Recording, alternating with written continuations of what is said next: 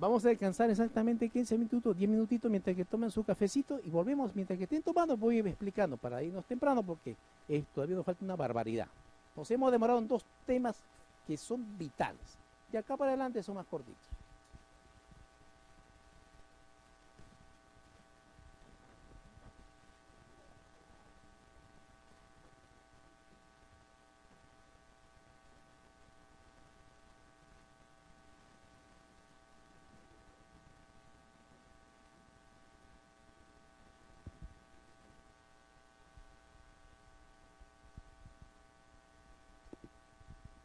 Muy bien, acá muy fácil, rapidísimo, de acá para adelante es muy corto los temas, ¿ya? que no hay problema, vamos a tener a tiempo.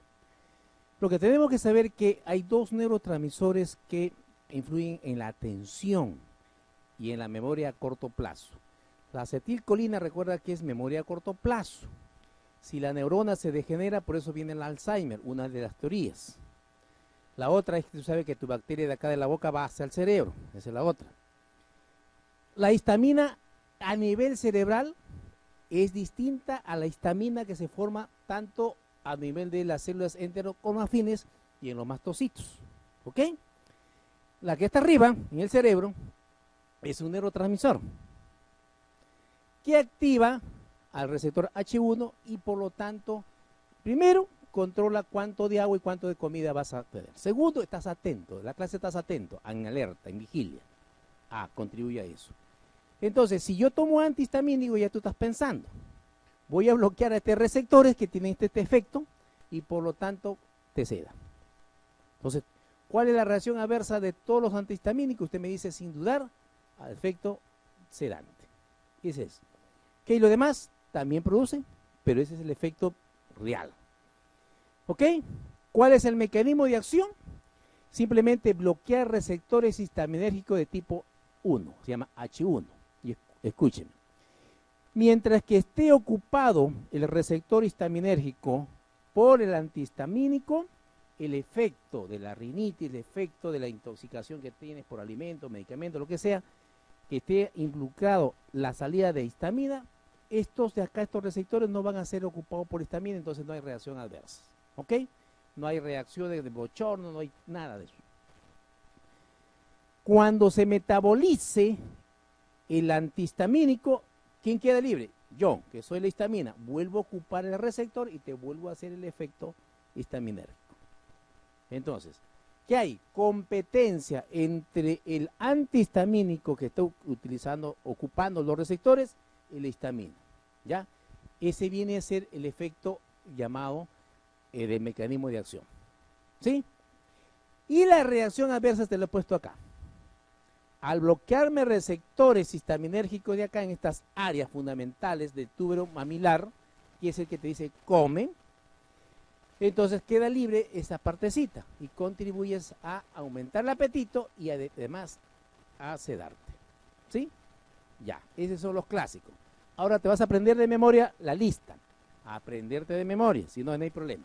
Acá te he dibujado la clorfenidamina, el primer y, el ejemplo principal de los antihistamínicos de primera generación. Fíjate que ha cruzado con facilidad la barrera hematoencefálica y está dentro del cerebro, bloqueando receptores H1. Y tú quieres para el efecto periférico, ¿no entiende? Pero esta es una reacción abierta. ¿Qué me aprendes? De la azatirina. Acá te he puesto los nombres este, oficiales, el verdadero, no los comerciales que tú conoces carbinoxamina, la clorfenidamina, la difenidamina, porque se iban cambiando los grupos funcionales para encontrar el, que no cruce barrera, y todo cruzaba. Dimedrinato, meclicina, ciprohectadina, hidroxacina, y sigo, la prometacina, sigo todavía, ¿no? La lista. Pero acá te habla la diferencia. Este dimidrinato no tiene efecto antihistamínico, porque esto esta, esta área está relacionada directamente con el área, tú sabes, de la quimioreceptora en gatillo, por eso es que evita las náuseas y dolor. Y el Gravol tú lo das, y ya lo diste, porque hiciste serum, ya has trabajado en la clínica, para las señoras que tienen náuseas y vómitos que están embarazadas. Es segura. Eso es el medicamento más seguro. Además, la ciprohectadina, como estimula también el centro, te estoy diciendo al costadito, este estimula ¿ah? el área este, fundamental del hambre, La ciproetadina no lo recetas tú para ah, como antihistamínico, para ningún caso de intoxicación. Lo utilizas con el nombrecito de trimetabol para estimular el apetito. ¿Ve? Todas las áreas, tú sabes, en, el hipotálamo están 23 áreas, todas se relacionan, por eso que estimulan, disminuyen, entonces. Acá está el clemisol, que también rápido te cuento, simplemente antiguamente se pensaba que como la penicilina generaba alergia se pensaba que era por una reacción histaminérgica, después se supo que era inmunológica, se asoció el clemisol con la penicilina y sale la famosa penicilina clemisol, pues. Y no tiene el efecto. Prolongó el efecto. Bueno, prolongó, pero no tiene el efecto antihistamínico. La prometacina salió para este fin, pero tiene mayor efecto sedante por eso que en la antigüedad los anestesiólogos lo utilizaron para ese fin, ya por el efecto sedante. Actualmente no lo vas a hacer, solo te lo cuento para la historia y para que sepas que en los exámenes se preguntan eso. ¿Qué antihistamínico se podría usar? Tú para cuando mandas al niñito a hacerte un de 12 años, 13 años, quieres hacerse una tomografía, ¿qué le pones? Un antihistamínico para que vaya adicto, tranquilo. ¿ah? Otros le ponen diazepam. Igual entonces acá. Te he vuelto a poner aquí la historia. No necesito los parámetros, para mí me importa, como toditos son básicos, cruzan barrera hematoencefálica. Van a llegar a la leche, van a llegar al niño. ¿Ok? Eso es lo que tienes que saber. Cruzan todito barrera hematoencefálicas. Todas las glándulas mamarias. Va a la placenta, porque son básicos. Para eso me ayuda este grafiquito. Segundo dato, para que nunca falles en interacciones, porque te va a presionar. Si vas a ser pediatra, la mamá te presiona. Doctora, fíjese, ya estás con la, tiene la, eh, eritromicina y, quiere la señora que le des algo para el moquito. Y te influye y tú le das cualquiera de estos, climatina, provestatina, le das este, la clofenamina y luego tienes el efecto nocivo. ¿Qué es? Inhibidor de la COP3A4 que metaboliza al macrólido y generas cardiotoxicidad. En otros países, acá lamentable, o por suerte nuestra, no lo, no lo tenemos. ¿ah? Pero no es bueno hacerse presionar por la mamá. A veces cometes el error, pues dice, pero si yo no le doy, se lo va a dar el otro, el otro colega. Para eso. Y volumen de distribución, yo te he dicho bien claro, solamente para que sepas que la molécula, como es básica, tiene alto volumen de distribución, es altamente lipofílica. ¿De acuerdo? Y el tiempo de vida media para que tú veas que el antihistamínico, mira, ve. Por eso viene de 10 miligramos, basta uno. Y lo que son prolongados, que vamos a mirar de segunda y tercera generación, es todavía 2.5 miligramos. 2.5 miligramos recetas. Y no tiene nada que ver porque no hay potencia, no, por, el efecto que es mayor, nada más. Lo de segunda y tercera generación, se supone que toditos ahora son fármacos de diseño, exclusivos. Observa acá esta, esta proteína.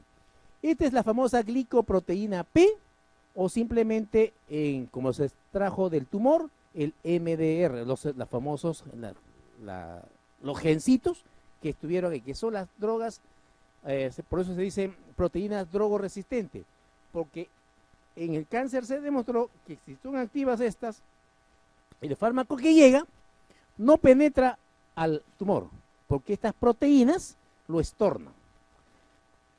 Ese fue el primer estudio. Lo hemos encontrado a nivel, ya dije ya en el efecto primer paso, clase pasada, a nivel intestinal. Ahí está la glicoproteína que evita la, el ingreso. La otra se ha encontrado acá, en el vaso sanguíneo cerebral, que evita, fíjate, te, he dibujado en este caso la cetiricina, aquí. Esta se supone que es de diseño, ingresa acá, quiere pasar la membrana y la proteína esta lo estorna. Evita que pase hasta el sistema nervioso, por eso no encuentra mi dibujito. Fíjate mi dibujito curioso acá. Yo he puesto acá la clorfenamina, bromfenamina, pirilamina, prometacina y pasa. En cambio acá no pasa porque se supone que esto lo reconoce y lo estorna. Ahora hay un problemita de un alumno mío en medicina. Tomaba su cetiricina y luego de la clase me dice, me acerque, profe, yo tengo este problemita y yo tomo esto. Y tengo, estoy permanentemente sedado. Y usted ha dicho que no es sedante. No, me preocupé. Entonces ya, tómate el original, le dije, el Sirtec, el original. Porque sospeché en ese momento que era el genérico. A la otra clase, se me acercó y me dijo, profe, igual. ¿Sí? Igual. Ya, de ahí que le hago su, su gencito y él tiene activo el CYP. Metabolizador rápido. Y ojo, esta proteína no lo, no lo reconoce. ¿Ves? Son distintos tus pacientes. Ahora, se me corrió este de acá, por favor. Como están en clase ahora, en vivo, bueno, hasta misol y la terfenadina son los cardiotóxicos. Son los más cardiotóxicos. Por eso que en el caso de, ellos, en la terfenadina, se retiró, pero la terfenadina se metaboliza en fexofenadina. Se metaboliza en fexofenadina. ¿Dónde? En tu hígado. ¿Ok? El laboratorio lo sacó, usted no ha conocido el Teldane, y mira con qué nombrecito vuelve. Y se considera tercera generación. Fexofenadina, nombre comercial, ¿cómo se llama? Alegra. Entonces yo le digo a mis alumnos, alegra que volví, no me fui. Y dice de patente. ¿Cómo ser de patente si él se metaboliza? Y el laboratorio lo sabe. Entonces ya no es cardiotóxico porque se supone, entre comillas, que ya no es metabolizado. Evastina, cetericina, acribastina, telemastina, loratadina, mesquitina, todos ellos, todos ellos segunda generación. Y hay dos que le estoy poniendo acá y una tres, una tercera póngale aquí, la le pongan la palabra levocetiricina, pero acá, aquí, en esta para la tercera. Levocetiricina, que la forma, pongan entre paréntesis, una mezcla racémica, que la activa, ¿ya? Es de tercera generación. Y luego desloratadina, que viene metabolito de la loratadina, y la fexofenadina, que viene del metabolito de la terfenadina. Y estos se consideran de tercera generación. Las dosis son muy chiquitas aquí. ¿Ah? Metabolismo y inmediatamente para que veas la interacción. Por eso es importante que usted lo sepa. Toditos se metabolizan por CYP 3 a 4, como si fuesen igualito de la familia de los anticonceptivos. ¿De acuerdo? Ya.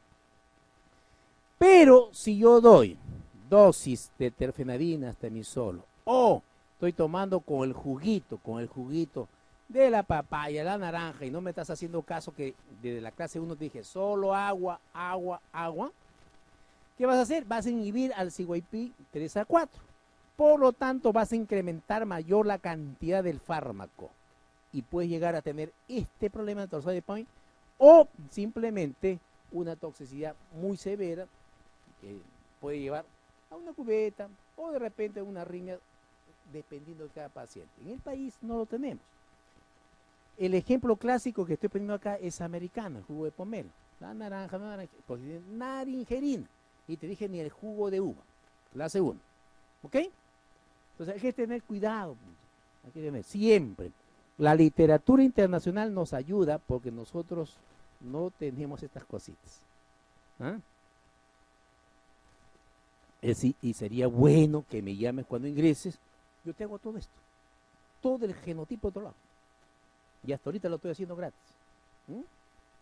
Lo hacemos para tu paciente y vamos implementando la medicina de precisión en tu país, en tu Perú. Lista completa entonces, evastina, cetericina, levocastina, en memoria de segundo, segunda generación. Tercera generación, solamente tres hay, ¿no es cierto? De la ortarina, la y la levocetericina. Por favor, tienes que grabarlo, porque si no, vamos a tener dificultad para dar examen. Tiempo de vida media larga, toditos estos se dan por eso una sola vez al día. Para los que van a ser pediatras, a mí me ha ido muy bien a mis hijos. Nunca han tomado ningún antibiótico durante toda su etapa de niñez. Solamente deloratadina para su tosecita, por ahí una cosita así. Me lo recetaba el doctor Manrique, pediatra excelente nunca entró a un cuadro de... Él decía, un buen médico pediatra no es aquel que lleva a su niño a la neumonía, porque en tres días se va a la neumonía. Él lo único que decía, no va al colegio, su tenía cuando se requiera y su agüita con miel. Miren, nada de la, teoría de, de, que estamos dando qué cosa. Cisteína, estamos dando eh, mucosolvan, estamos dando bromexina, puro cuento. Ya, entonces acá está la otra de la familia, tercera generación, para que usted vea. Todos ellos no son sedantes ni aumentan el apetito. Entre comillas, le he contado la historia de uno de los muchachos que sí le pasa. ¿Qué preguntan? El mecanismo de acción de los antihistamínicos. Ya te lo expliqué. Bloquean receptores histaminérgicos, por lo tanto, mientras que están activos, no va a haber activación de la histamina sobre el receptor. Cuando se metabolizan, inmediatamente viene el, la histamina y activa el receptor. Por eso hay una competición de receptor por el receptor de histamina entre la histamina y el antihistamínico, que puede ser la otra. Por eso acá han puesto la respuesta, competencia. ¿Qué fármacos no atraviesan la barrera hematoencefálica? Lo de segundo y tercera generación. Y la listita en la cabecita. Acribastina, evastina, cetericina. Y metes el concepto de las dos últimas, ¿no? Veloratadina, la fexofenadina, el, primo hermano de la cetericina activa, la levocetericina. ¿ya? Acá te han puesto, por ejemplo, las dos, las cardiotóxicas. En otro año, ¿cuál es el enemigo de primera generación? Y tienes que aprender, primera generación, ya hemos visto, ¿no? La clorfenamina en la, cabeza, la bromfenamina, la pirilamina, la prometacina, que tiene que estar en tu cabecita, si no, no puedes dar examen. ¿Y cuál de las siguientes antihistamínicos más utilizado en medicación preanestésica? Cuidado, no vayas a poner eso tú ¿Te acuerdas esto de que has estudiado y lo hagas en los anestesiólogos? No, no, no. Este es para examen por historia. La prometacina se usa, ¿ya? Por el efecto más sedante. Acuérdate ahora, utilizas la clorfenamina. Vamos a mirar ahora los glucocorticoides desde el punto de vista eh, no, sistémico, los inhalatorios, ¿ya? Los sistémicos tú lo conoces, que tienen todas las reacciones adversas conocidas, pero este se supone que son solamente en el caso de la beclometasona, la flunisolida, la trianzonolona, que había por vía intramuscular, todos estos tienen efecto de primer paso. Al tener efecto de primer paso, entonces por vía oral no tiene actividad, tiene que ser inhalatorias. ¿Ya? Entonces, a pesar de tener el efecto que es eh, presistémico, no tendría eh, utilidad, ¿no es cierto? Pero lo tiene. ¿Cuál es el mecanismo de acción? Está escrito todo acá. ¿no?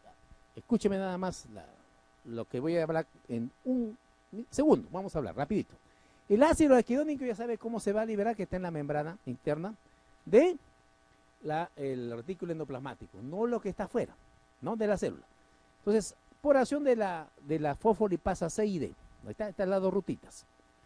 Al romper el PIC2, que está unido al ácido araquidónico, puede ser por acción de esta enzima, la fosfolipasa C. Entonces, me jalo la colita del diacilglicerol con el ácido araquidónico y además, además el IP3. ¿Ok? Luego de ahí, esta tiene dos enzimas, el DAC lipasa y la axinasa. Si actúa la DAC lipasa, inmediatamente se lo metaboliza a glicerol. Pero si actúa la daxinasa, miren lo que hace, lo convierte en ácido fosfatídico, o sea, le va cortando las cadenitas y ya va quedando el ácido fosfatídico en donde se encuentra el ácido araquidónico que está mirando acá. Y luego el ácido fosfatídico tiene una enzima específica que lo reconoce, que la fosfolipasa A2. Le corta la colita, ya te enseñé hace un ratito, y genero el, el lisopaf que se convierta en PAF, el factor de actividad de plaquetas. Y me queda libre el ácido araquidónico, ya te lo liberé. Y el ácido araquidónico comienza a generar leucotrienos, que es activo para generar el problema de la broncoconstricción, cerrarte y exacerbarte el cuadro de asma. Por eso estamos hablando ahí. El efecto antiinflamatorio, ¿cómo lo controlo? Inhibiéndome entonces a la fosfolipasa A2. ¿Ya? ¿Cómo? Lo puse aquí, no está. Ya, te cuento entonces.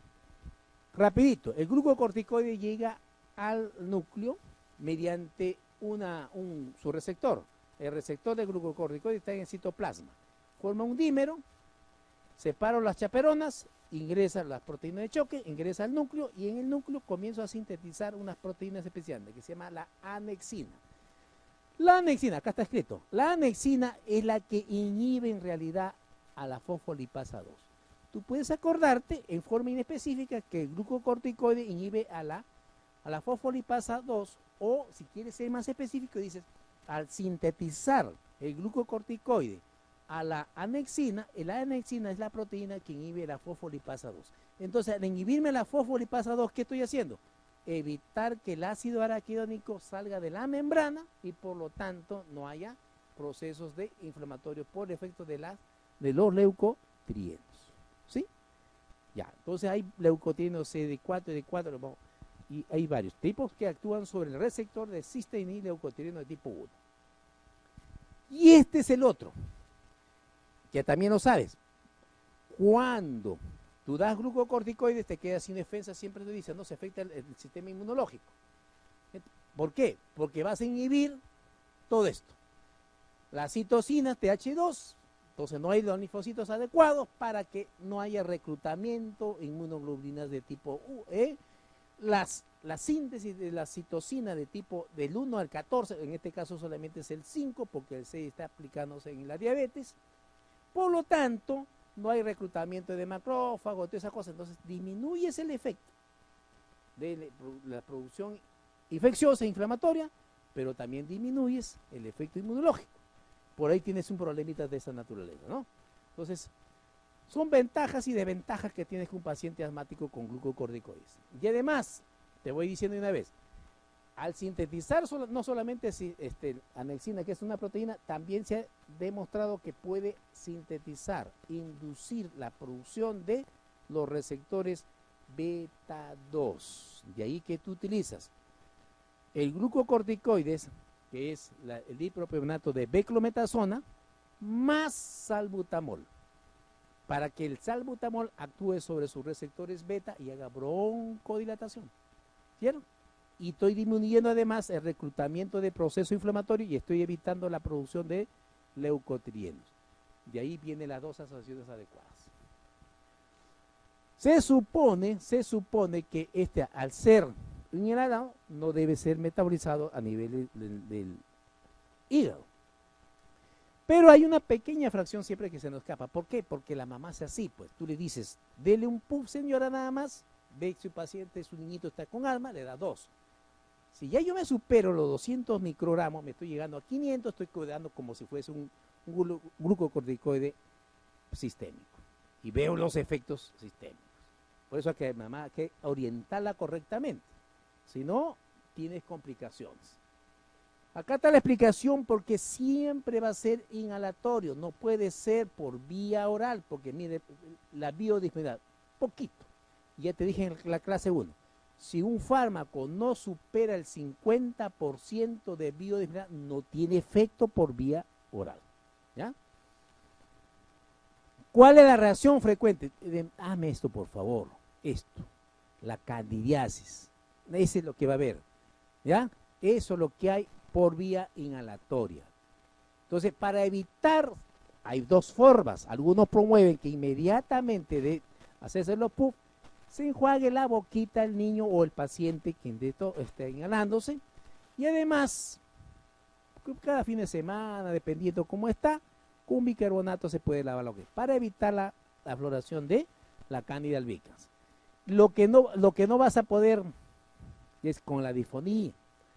Tú sabes que las cuerdas ahí se van a tensar.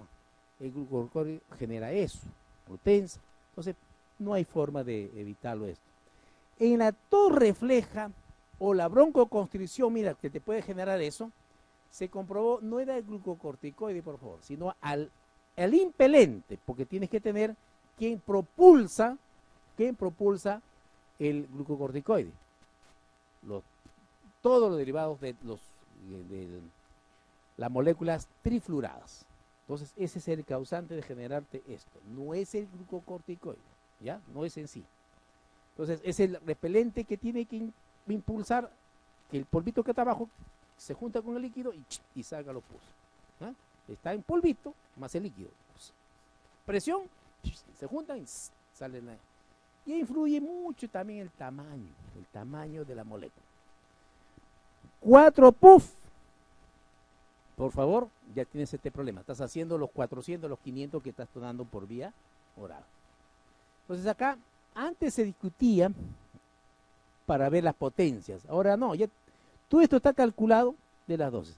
Antes tenía que decir, decrometación a 200 microgramos van a equivaler exactamente a, la, a 400 de triancinolona.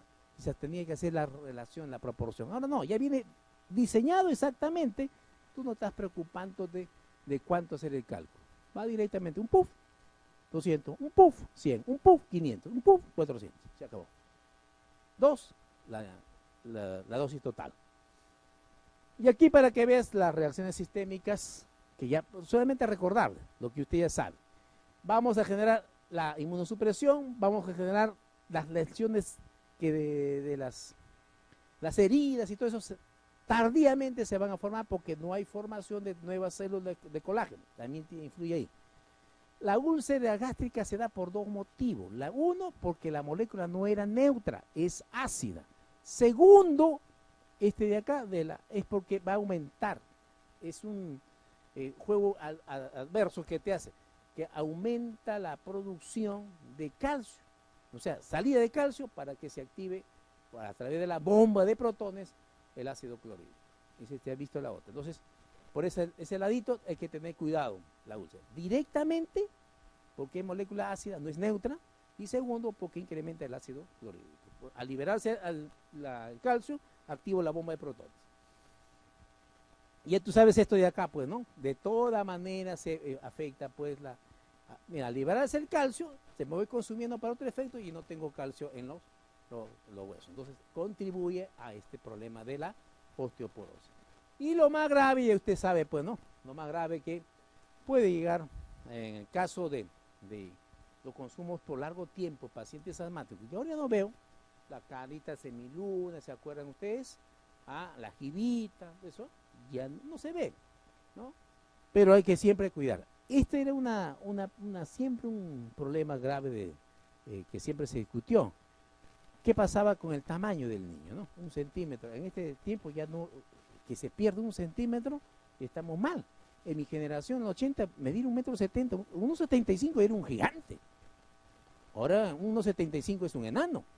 Por eso que yo me he vuelto un piolín de un metro setenta, porque va, cuando llega a los 40 años, vas cayendo un centímetro menos, porque es por la columna.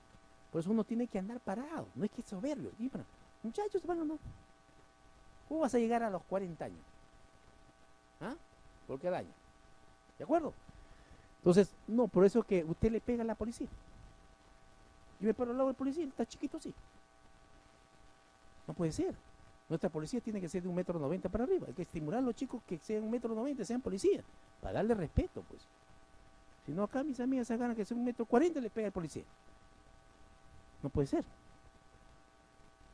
Esto es importante, la hiperglicemia. Este es otro dato, los glucocorticoides. Por eso que también disminuye la, la, la, memoria, porque no hay glucosa para mantenerse activo. Aumento la, esto no se sabe por qué razón, pero se han incrementado los, triglicéridos. ¿ah? Todo esto de acá que estamos hablando es por efecto sistémico. Solo el efecto no sistémico es a nivel cuerdas bucales y la cándida, que se puede evitar. A nivel central es importantísimo. Se ha encontrado cantidad, por favor, esto es la importancia, se ha encontrado cantidad de receptores de glucocorticoides que te puede llevar a la euforia primero, luego a la psicosis también llamada tóxica. ¿Ya? Hay depresión, puede haber ansiedad, por eso son disímiles por aquí. Y estas son predisposiciones de cada uno de nosotros, no, a todos les sucede. Y hay pacientes que, son diabéticos, hay que educarlos a ellos porque dicen, estoy con diabetes, me voy a operar de los ojos hoy, pero si sigues comiendo lo mismo. De nada sirve. Este es el otro problema de la insulina. Ya tú sabes que, porque como hay cantidad de glucocorticoides, entonces la glándula suprarrenal piensa que hay, entonces involuciona él, ¿no? Entonces podemos tener problemas de esa naturaleza. Y este es el más conocido, el síndrome de Cushing lo, hemos, siempre lo hemos explicado y lo, sabe usted. Esto es un poquito para que vea que no hay, si hablamos del punto de vista de los glucocorticoides inhalatorios del día, no debería haber interacción. Pero si estoy hablando de eh, sistémico, sí voy a tener el efecto. Y acá está la explicación por qué puede disminuirse los eh, efectos de, la, de la, los hipoglucemiantes y en el caso de las insulinas porque pueden potenciar los efectos de los diuréticos, sobre todo de potasio. Acá este es importante que también tengas cuidado porque como estos son inductores enzimáticos, puedes inducir el metabolismo de los otros fármacos, entonces vas a obtener la potencia o el efecto terapéutico disminuido. ¿Ya? Son inductores enzimáticos, inhibidores enzimáticos, que le he dicho de las dos familias. ¿Ya? Y nunca con antidiarreico. Con acá solamente está con el ejemplo del glucocorticoide, pero en realidad la colesterolamina y el colesterol son unas moléculas poliméricas que cualquier fármaco lo capta y no lo deja absorber. ¿Ya? El objetivo es que siempre se dé medicamentos alejados de los otros. Este es un examen muy pasado, uno de los primeros que se tomó la preguntita, y se, eh, se debe a que hay gran cantidad de receptores glucocorticoides. Te puede llevar delirio, te puede llevar la euforia, puede ser a un cuadro de hipomanía, puede ser depresión. Pues la respuesta aquí es